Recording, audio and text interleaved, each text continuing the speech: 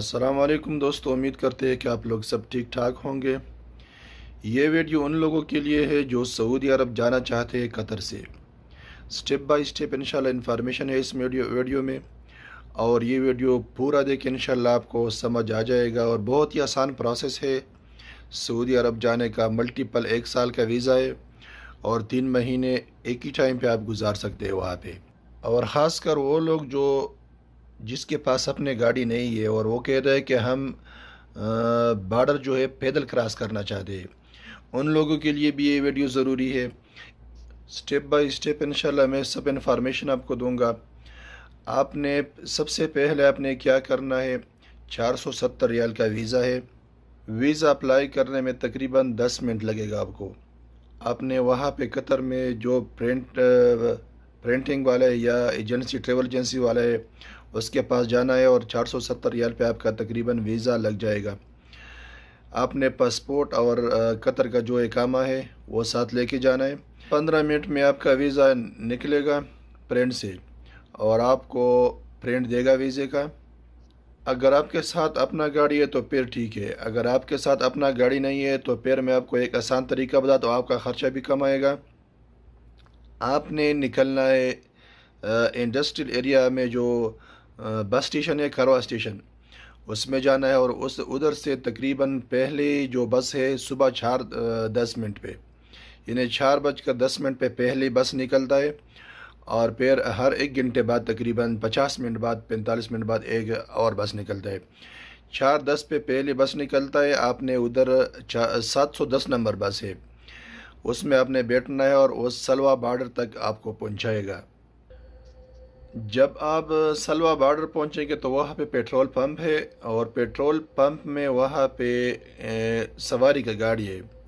आपसे तकरीबन पचास, साठ, सत्तर रियाल लेगा। दो तीन चार आदमी जब आप बराबर हो जाएँगे, जमा हो जाएँगे तो फिर एक साथ निकले। तकरीबन आपके ऊपर पचास, साठ रियाल एक आदमी का आएगा। और वो सऊदी अरब के जो पेट्रोल पंप है ना, सऊदी अरब के इलाके में, उधर तक आपको पहुंचाएगा उधर आपको छोड़ेगा। दोस्तों, बिलाखिर हम सऊदी अरब पहुँच गए। अभी हम सऊदी अरब में मौजूद हैं, आप देख सकते हैं।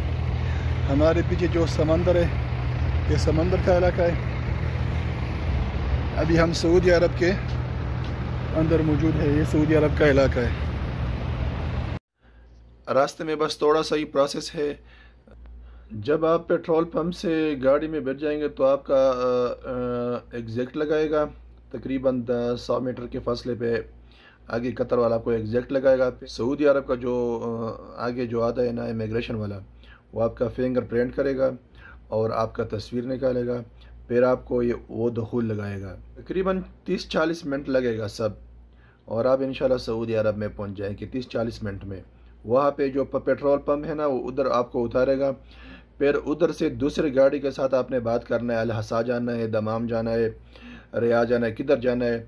अगर आप तीन चार आदमी है तो फिर आपका ख़र्चा तकरीबन थोड़ा कम आएगा। गाड़ी के साथ बात करो या नकल जमाई पे जाओ, जो बस स्टैंड है ना, उधर से सब जगहों पे गाड़ी जाता है। रियाज भी जाता है हमीस भी जाता है, जिद्दा, मक्का, किधर भी जाना है आपने, फिर उधर जगह आपने जाना है। गाड़ी के साथ बात करो, दो तीन आदमी तकरीबन पचास साठ रियाल आपका उधर आएगा, और यही प्रोसेस है। ये वीज़ा जो है, ये सिर्फ़ नब्बे दिन का होता है।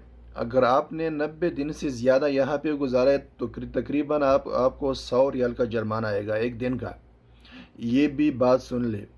अगर आप दोबारा आना चाहते हैं तो आपने तीन महीने गुजार करके दोबारा कतर जाना है और वहाँ से दोबारा वीज़ा अप्लाई करना है, फिर आना है।